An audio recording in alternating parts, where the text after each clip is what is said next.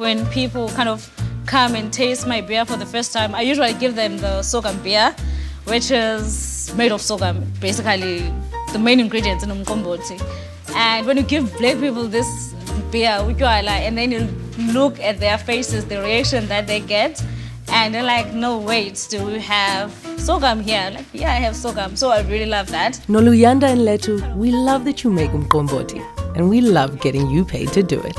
I love that we made our own modern version of umqombothi.